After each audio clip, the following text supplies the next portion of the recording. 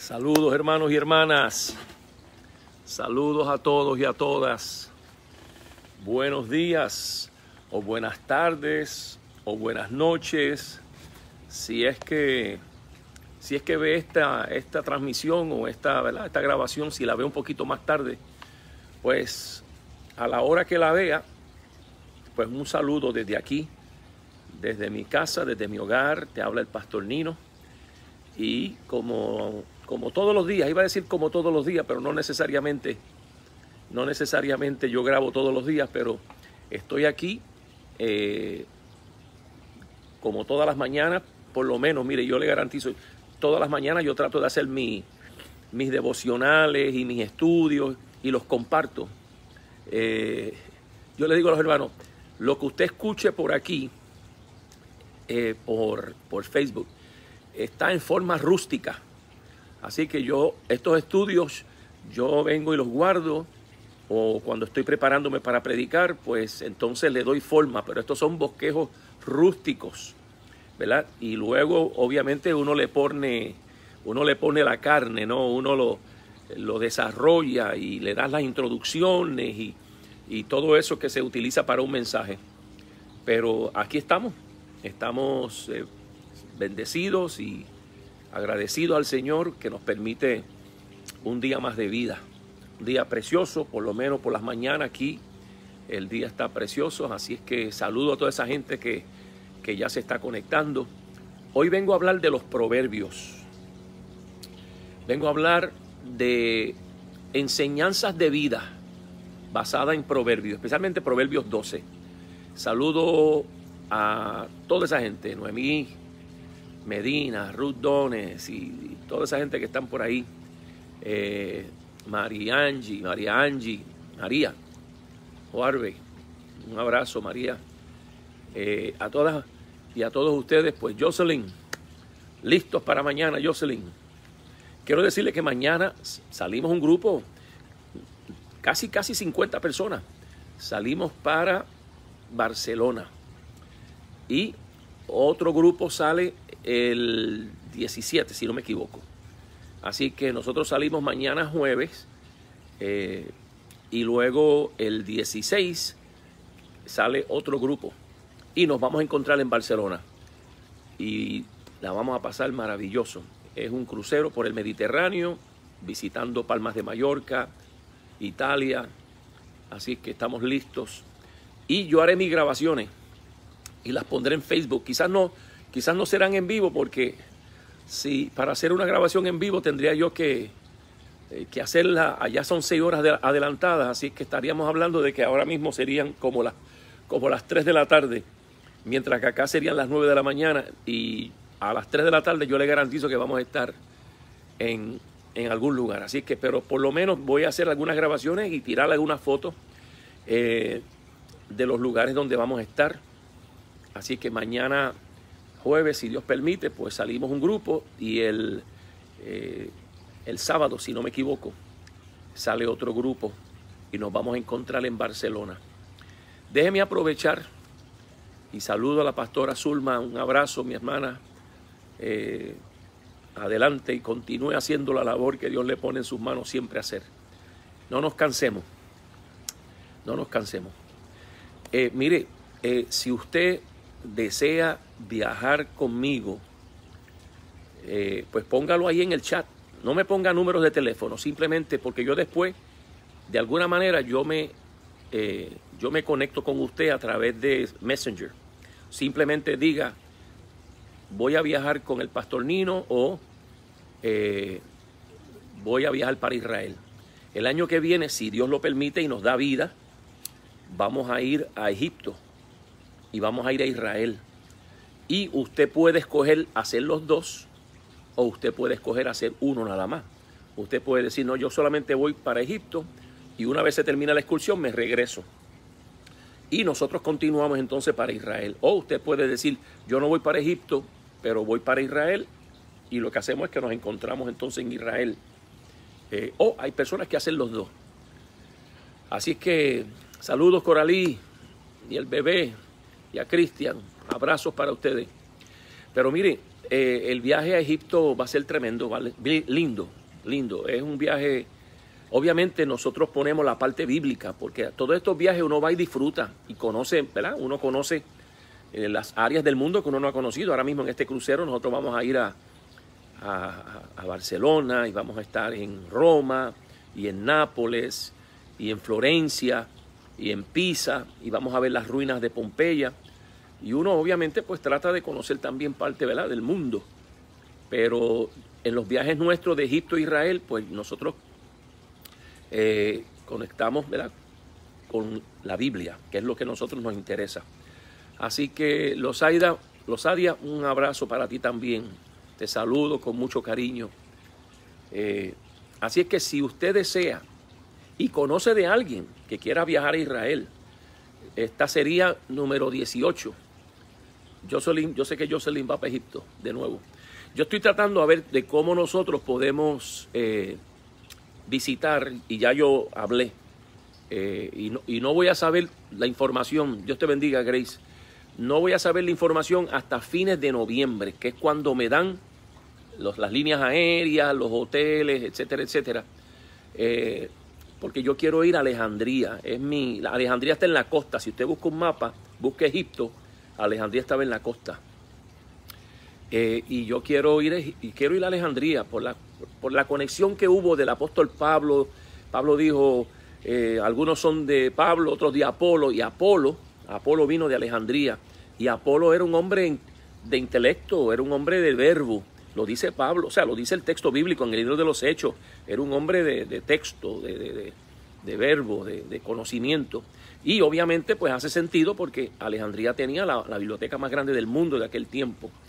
Así que vamos a hacer Alejandría, si Dios permite, Luxor, que también es otra ciudad bien importante en Egipto, y vamos a hacer Cairo. Y en el Cairo obviamente pues están las pirámides, el Museo Nacional, que eso es una maravilla. Eh, y, luego entonces seguimos hacia Israel, los que desean seguir hacia Israel. Póngame ahí en el texto, voy a ir, pastor, voy para Israel, si Dios permite, porque lo que nosotros hacemos es que le vamos dando cuatro o cinco veces, ¿verdad? Para que usted vaya pagando 400 acá, 300 acá, eh, etcétera, etcétera. Así que eh, de esa manera usted puede pagarlo y ya antes del verano tiene su ticket pago. Así que ya con eso pues le puedo decir que cuando vengamos del viaje, ya para noviembre, mitad de noviembre a fines de noviembre, pues ya yo debo tener precio y debo tener el programa y debo tener prácticamente todo, todo confirmado. Así simplemente, simplemente póngame en el chat, no me ponga número telefónico, simplemente voy para Israel. Y yo después, cuando se termine la grabación, yo tomo todos esos nombres, que de hecho déjame decirle, ya hay como, hay como 17 y todavía no hemos tirado un anuncio oficial. Y hay como 17 personas eh, de, estos, de estos Facebook Live que ya me dijeron, pastor, vamos para Israel y vamos para Egipto. Así es que, y uno la pasa bien. Yo, yo soy de los que me preocupo que la transportación sea de excelencia, que las comidas sean de excelencia, que los hoteles sean de excelencia, que los guías sean de excelencia, porque por eso usted paga. Y yo trato de que el viaje, si me agrada a mí, yo sé que le va a agradar a ustedes, porque yo soy también bien particular para estos viajes. Así es que muchas gracias y, ¿verdad? y que, que se pueda dar ese viaje y que usted lo pueda disfrutar con nosotros. Pero mañana salimos un grupo para el crucero en el Mediterráneo, así que mañana no grabo, pero después que yo esté allá, dependiendo de dónde estoy en Barcelona, pues yo tiraré mi grabación y la pondré para que ustedes sepan dónde estamos. Mire, así rapidito, quiero hablar sobre las enseñanzas de vida que el libro de Proverbios nos brinda. Y voy a hablar específicamente de Proverbios 12.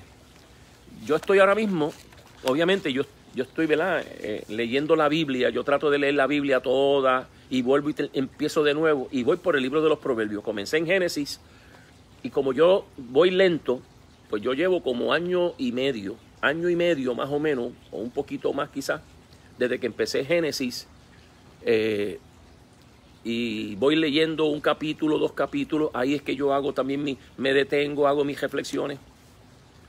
Voy por proverbios. eh, leyendo la Biblia de, de, tapa a tapa. Entonces, el, el libro de los proverbios, hermano, mire, los proverbios es un libro que cada verso es un mensaje. No es como otros pasajes bíblicos, y esto obviamente cuando nosotros enseñamos en el instituto, que hace tiempo que yo no enseño la clase de, de, hermenéutica, pero cuando yo enseño la clase de hermenéutica, estos libros se le llaman los libros poéticos, lo que son los salmos, los proverbios, eclesiastés, cantares.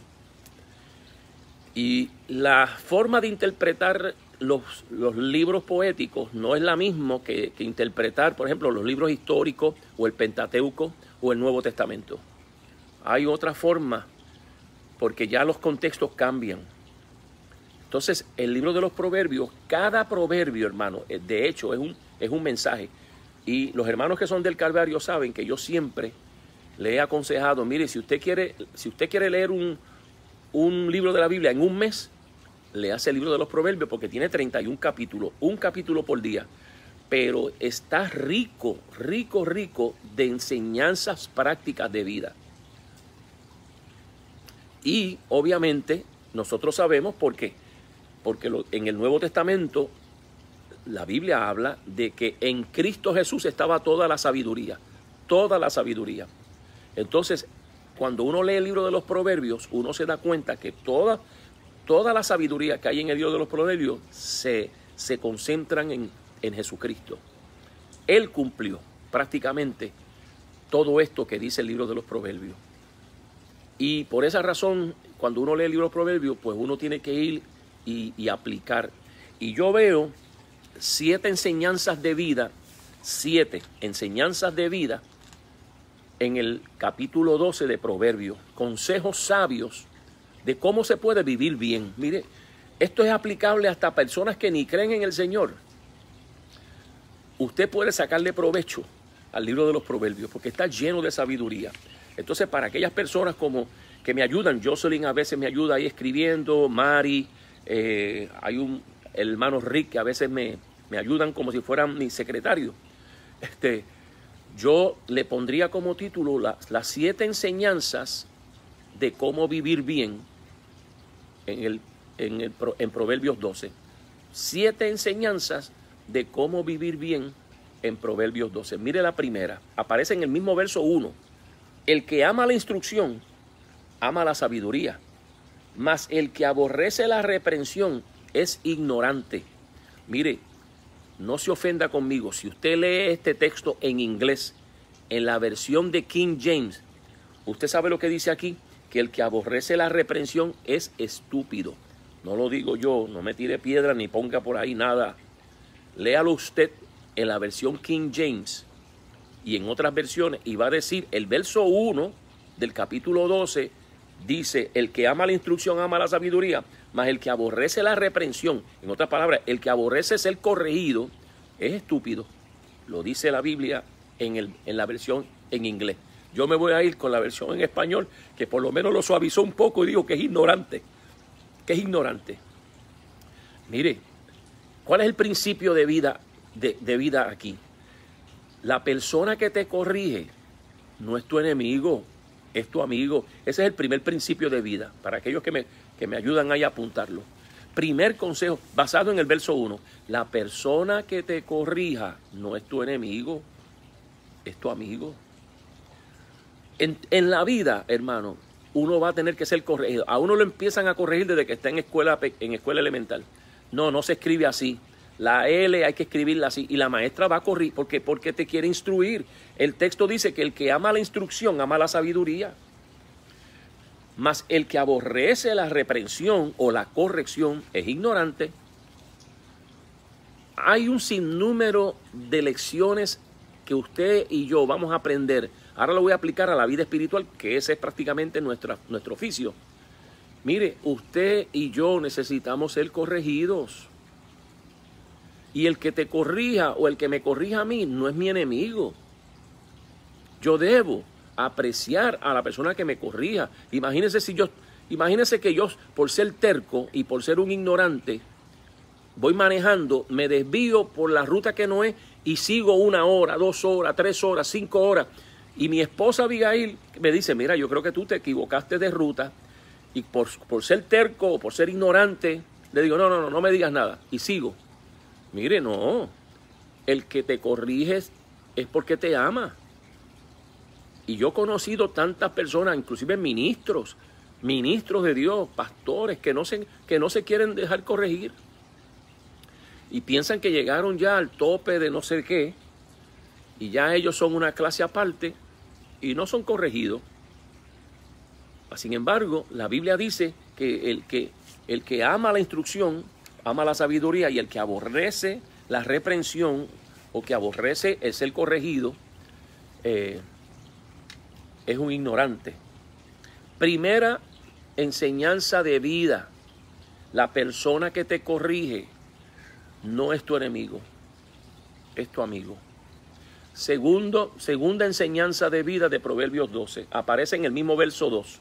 Mire lo que dice, el bueno alcanzará favor de Jehová, mas él, él condenará al hombre de malos pensamientos. Mire el segundo consejo de vida aquí.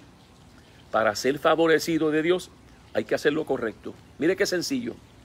Usted quiere el favor de Dios, porque Dios no puede bendecir a nadie en contradicción.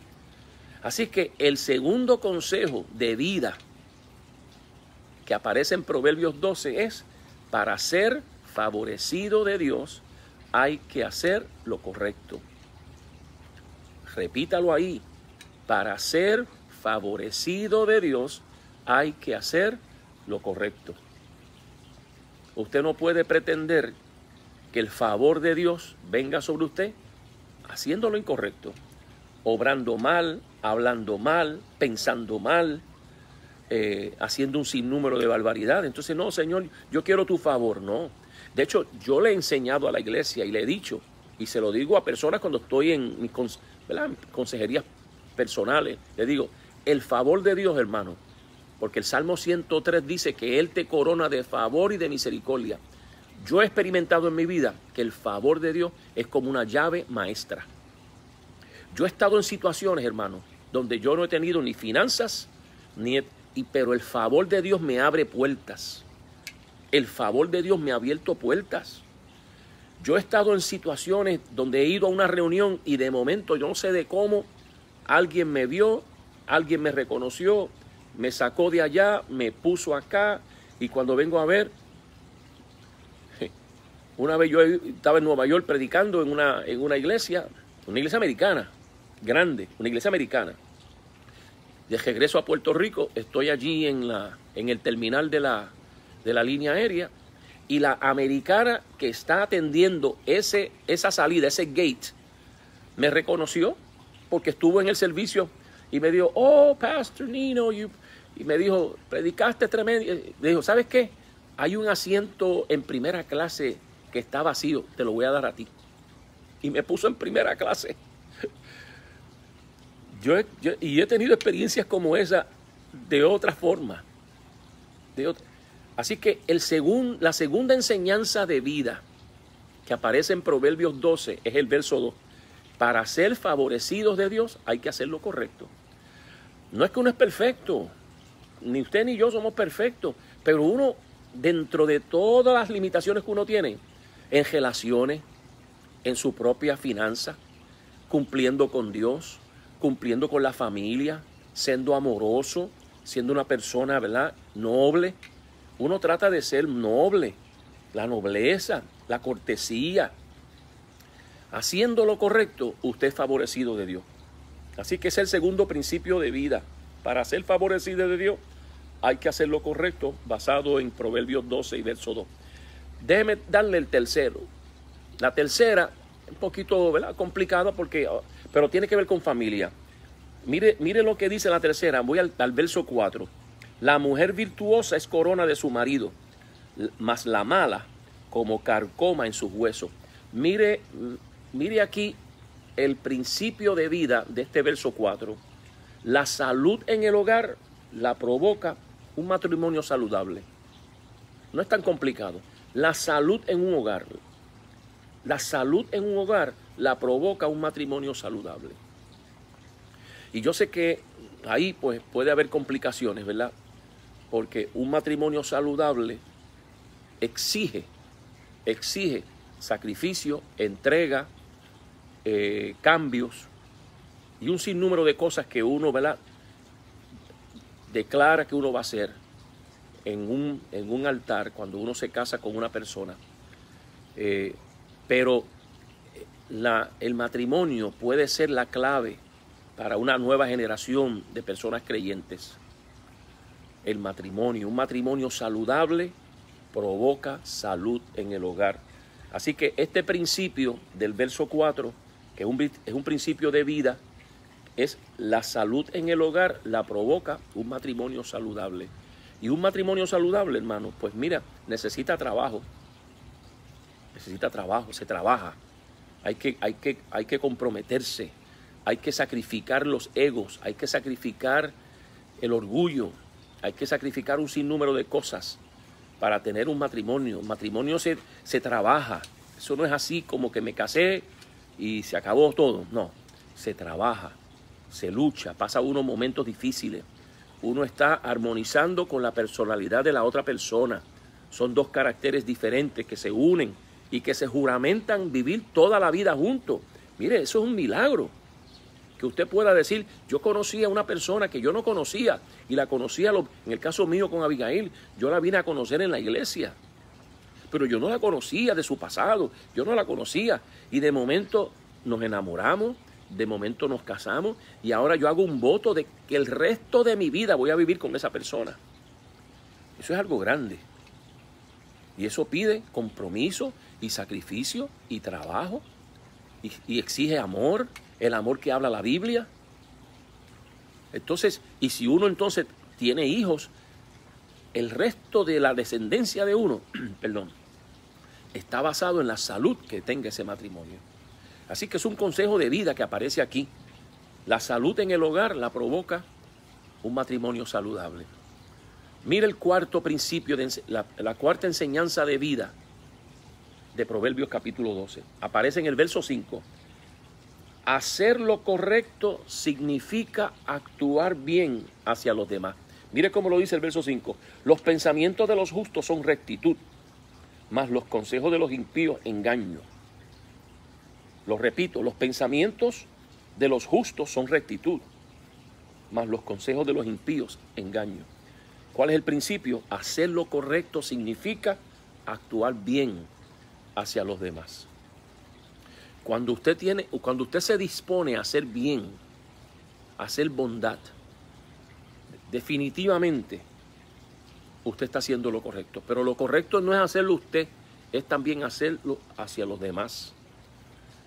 Y en el Nuevo Testamento Jesús enfatizó eso, pero bien fuerte. Creo que en el capítulo 5, cuando estaba dando su sermón del monte. Es más, Él dijo, hacer bien a vuestros enemigos. La ley de Cristo era bien fuerte, más fuerte que la de Moisés. Jesús dijo, hacer, háganle bien hasta a sus enemigos. ¿Quién hace eso? ¿En qué mente está el hacerle bien a un enemigo? Sino en la mente de Cristo y el que tenga la mente de Cristo. Pero estas son las cosas, hermanos, que te ayudan a ti a vivir bien. Una persona que actúa bien y que hace lo correcto, se está añadiendo días de vida. Yo no tengo duda de eso, hermano. Yo no tengo duda de que una persona que abraza la fe de Cristo y comienza a vivir su vida basado en los principios bíblicos, usted de veras añade vida a sus días. Añade días, perdón, a su vida. ¿Por qué? Porque hay una conexión entre lo espiritual, lo emocional y lo físico. Y hacer lo correcto significa actuar bien hacia los demás. Y eso como que le satisface a uno el espíritu. Hacerlo bien, hacer una obra de bien. Usted nunca se ha sentido cuando usted va a hacer bien a alguien, le hace un favor a alguien. O alguien que, que usted sabe que no le puede pagar Alguien que usted sabe que no le puede pagar y si usted Dios lo ha bendecido económicamente sin, sin tocar trompetas ni que... Pero cuando usted viene y bendice a alguien o le regala algo a alguien, no le hace eso sentir bien a usted. Eso le añade vida. Eso añade vida, salud. El, espíritu de uno empieza a afectar el aspecto anímico y del aspecto anímico afecta el cuerpo. Y cuando usted viene a ver, hermano, haciendo lo, haciendo lo correcto, usted se añade días de vida. Así que el cuarto principio que aparece en Proverbios 12, cuarto, la cuarta enseñanza, o el cuarto principio, porque es un principio espiritual, enseñanzas de vida es hacer lo correcto, significa actuar bien hacia los demás. Mira el quinto, mira el quinto. Aparece en el, en, en el verso 9, si no me equivoco. Mire lo que dice. Más vale el despreciado que tiene servidores que el que se jacta y carece de pan. ¿Cuál es el principio ahí? El verso 9. Que el carácter íntegro es mejor que las apariencias. El carácter de integridad, el carácter íntegro, una persona de carácter, de carácter bueno, es mejor que las apariencias. Mire cómo lo dice el verso 9. Más vale el despreciado que tiene servidores. Hay personas, el despreciado es, como dicen en inglés, el nobody. Y, él dice, mejor es un nobody que, tiene gente que lo ayuden que, que el que se jacta pero está muerto de hambre. Las apariencias, hermano, en la Biblia las apariencias no funcionan. Así que este principio, el quinto, el carácter íntegro es mejor que las apariencias. La apariencia es todo un engaño. Y hay personas que viven de apariencia y están en competencia. Y los que son de la iglesia del Calvario saben que una vez yo le conté una experiencia que yo tuve. Yo estuve haciendo un curso de lo que le llaman, eh, lo que llaman CPE, eh, Pastoral, no, CEP, CEP, eh, Pastoral Care es un curso que dan a los capellanes. Un curso que se le da a los capellanes, pero hay que hacerlo en una institución, ya sea hospital o psiquiátrica. Y yo lo hice en un hospital de psiquiatría en Missouri. Y, era un edificio bastante alto, pero cada piso tenía los pacientes dependiendo la gravedad, de, la gravedad de ellos, ¿no?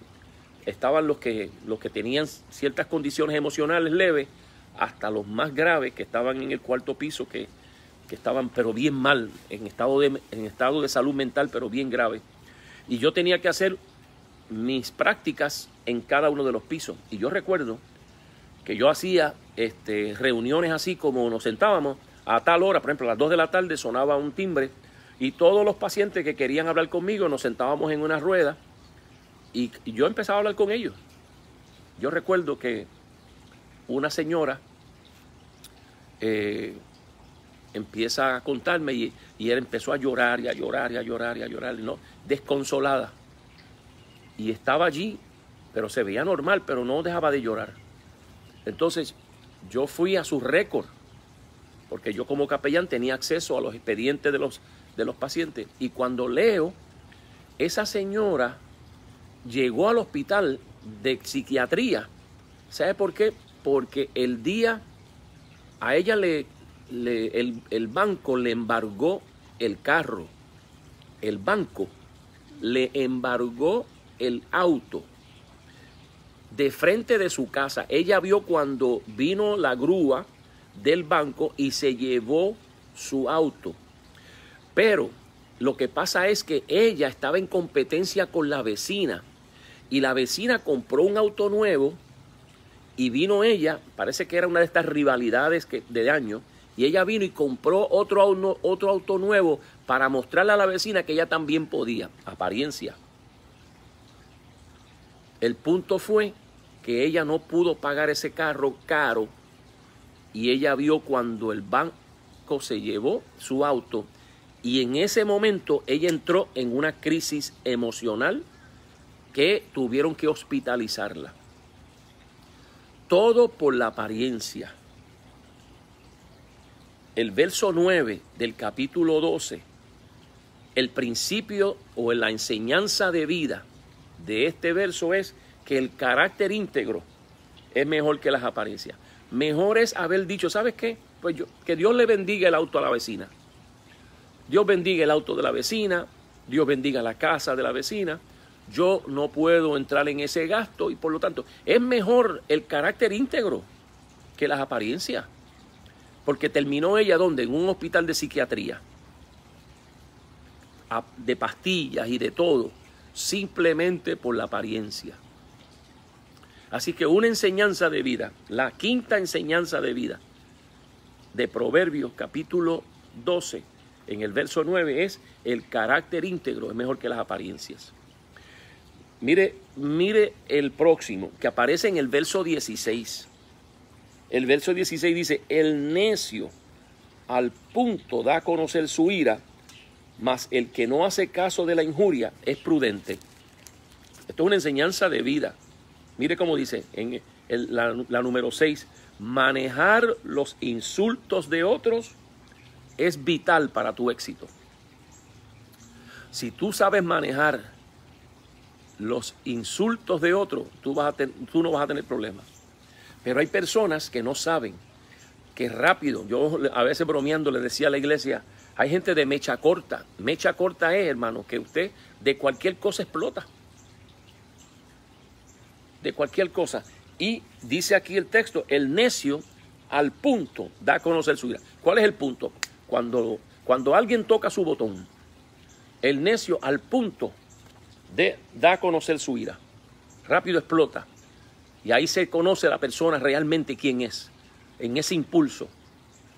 Dice aquí, más el que no hace caso a la injuria es prudente.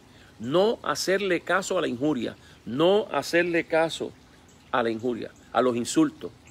Nada, no hacer caso. Ahí está la clave. Usted sabe cuántas personas han ido a la prisión, y yo que fui capellán de prisión, yo se lo puedo decir porque yo también tenía mis reuniones con los muchachos. Y los muchachos, a veces los presos, me decían a mí, capellán, yo estoy aquí, ¿sabe por qué? Por un, por un momento de ira. Por un momento de ira. Estoy aquí cumpliendo una perpetua, porque le quité la vida a alguien porque me insultó o me humilló. Si yo me hubiese aguantado, ¿qué es lo que dice el proverbio? proverbista está diciendo, mas el que no hace caso a la injuria es prudente. Es una enseñanza de vida. Así que se la voy a repetir, que es la número 6. Manejar los insultos de otros es vital para tu éxito. ¿Tú quieres tener éxito?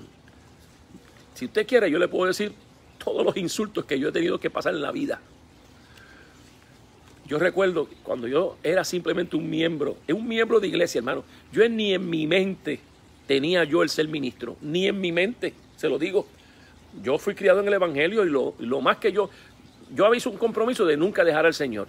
Así que yo, para mí, la meta más larga de mi vida era que yo iba a ser un buen miembro de una iglesia. Yo quería ser un buen miembro, como tengo en la iglesia del Calvario, como hay buenos miembros. Esa era mi meta, ser un buen miembro. Pero yo tenía mentalidad de negocio, tenía mis negocios. Y yo recuerdo que en una ocasión el pastor me dio a mí una posición, no sé si era superintendente de escuela bíblica o algo así.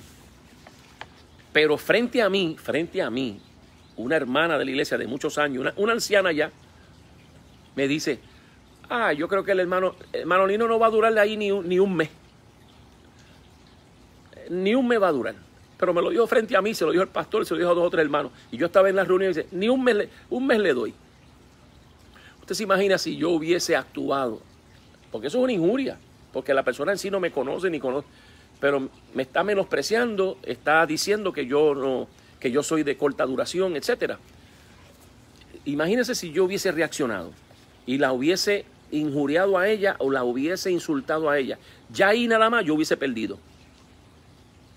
Así que me tragué aquello y con mis acciones le demostré que yo era de larga duración, porque la escuela bíblica creció, hicimos un sinnúmero de actividades. Así que este principio de vida, manejar los insultos de otros, es vital para tu éxito. Usted va a tener éxito a la medida que usted sepa callar, sepa también recibir y no actuar. No permita que otro le corra a usted su agenda. No, no, lo no, deje que otro le corra a usted la agenda. No le dé tanto poder a esa persona. No le dé tanto poder.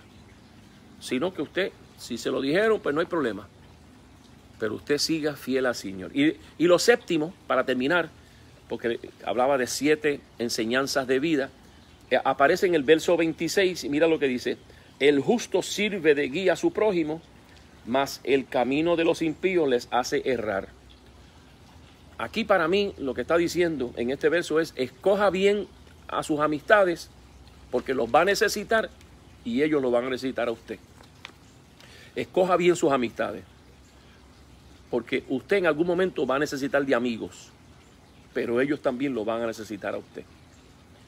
Así que estas son, para mí, en el estudio que estoy haciendo y en la lectura que estoy haciendo, pues saca uno. Y yo le digo, mire, lea los proverbios y usted mismo ahí saque principios. Léase los proverbios, cada texto, y luego que usted lee el texto, entonces cierra tus ojos y en tus propias palabras, dije ese mismo proverbio, pero en tus propias palabras. Y ahí usted va a sacar un principio de vida. Y de esa manera es que usted va, ¿verdad? Usted va a ir eh, sacándole la espiritualidad del texto, que es lo que yo le llamo. Así que el Espíritu Santo te guíe, ¿verdad? Pero lea el libro de los proverbios, es interesante. Proverbios tienen cantidad de sabiduría. Así que déjeme rapidito repasarlos por aquellas personas que, han tomado nota. Todos estos principios aparecen en el capítulo 12. Número uno, la persona que te corrige es tu amigo, no tu enemigo. Verso 2. Número 2, para ser favorecido de Dios hay que hacer lo correcto. Eso es el verso 2. Perdón, el primero es verso 1 y este es el verso 2. Número 3, la salud en el hogar la provoca un matrimonio saludable. Ese es el verso 4. Hacer lo correcto significa actuar bien hacia los demás. Ese es el verso 5. El, el, número, el número 5. El carácter íntegro es mejor que las apariencias. Ese es el verso 9. El número 6. Manejar los insultos de otro es vital para tu éxito. Ese es el verso 16. Y el último, escoja bien sus amistades, los vas a necesitar y ellos te van a necesitar a ti. Ese es el verso 26. Hermanos queridos, espero que por lo menos este ratito así de, reflexión le haya venido bien. Eh, comparta esto con sus líderes. Esto no es tan profundo. Estas son cositas que usted puede, inclusive con sus propios hijos, haga una célula y coja esos puntos y compártalos. Vaya al capítulo 12 y hágalos, hágalos leer. ¿Qué tú, ¿Qué tú entiendes por ese verso? Y usted le da el principio. Y así usted fomenta ¿verdad? el estudio bíblico y, la casa se enriquece. La presencia de Dios siempre va a bendecir ese hogar. Así que yo me voy a despedir. Acuérdese, mañana jueves, ore por nosotros, por los que vamos a salir. Eh, que Dios nos guarde, nos guíe por allá. Y montese con nosotros.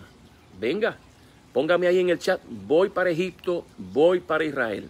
Y yo cuando venga del viaje, ya para noviembre, yo debo tener precio, fecha, todo y yo lo comparto con ustedes. Y luego entonces, para el año que viene empezamos las reuniones. Así que tenemos todavía las, semanas de fiesta, las navidades y ya para enero empezamos a hacer los grupos, las reuniones, la orientación. Yo siempre hago cuatro reuniones al año, una en enero, en febrero, una por ahí por abril, una por ahí por mayo, junio y luego la última por ahí cerca de agosto. Así es que, y se monta con nosotros y va a Israel y va a Egipto y nos mantenemos conectados siempre. Así que la paz del Señor sea con cada uno de ustedes, sean todos bendecidos. Yo oro al Señor que Dios le dé un día hermoso a usted. Que Dios le proteja a usted y a su familia. Oro por aquellos que me están viendo, que están enfermos, Padre, en el nombre de Jesús. Pon tu mano sanadora sobre ellos. Aumentales la fe y permite que ellos puedan ver un milagro en el día de hoy. Financiero, de relaciones. Tú los bendice, Padre, en el nombre del Señor. Sean todos bendecidos. Nos vemos. Dios le bendiga a todos.